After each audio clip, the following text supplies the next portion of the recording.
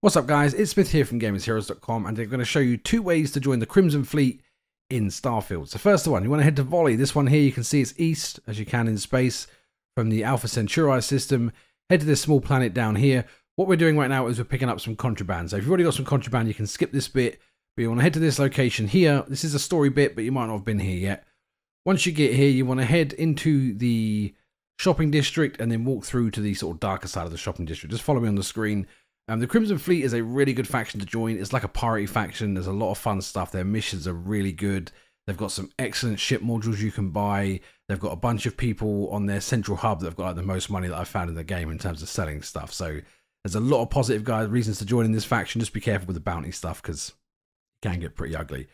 So once you're in the this section, you want to run through and head through to the gate at the back. It's a big purple door. It takes me a second to find it. I get so lost in this game. I really do. Head through to the Ebbside. On the other side of this, there is a small cafe-like place. Euphoria. Head inside, speak to the lady, buy access to the VIP lounge, and then head upstairs to the VIP lounge, and you can buy Aurora. This stuff is contraband, so you can use this to do the next step. Do not leave the planet on foot if you've got the contraband. They will scan you at the door and you will fail. So as soon as you've got the contraband, go up into space, head back to Alpha Centauri, and go to New Atlantis. Once you get to the New Atlantis system, because you've got contraband, you won't be able to land you will have to travel to the system itself. When you get there, you should get interrupted with a scan. Once they scan you, you will get caught. Just go willingly, and then you get invited to the Crimson Fleet eventually. Otherwise, you can come to the MAST section here. This is also on New Atlantis.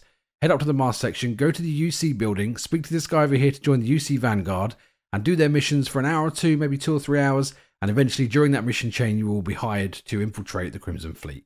So guys, nice and quick, nice and easy. Get when you get back to the game. If we helped you out today, do like, subscribe, I do appreciate it, and I'll see you in the next one. Take care now.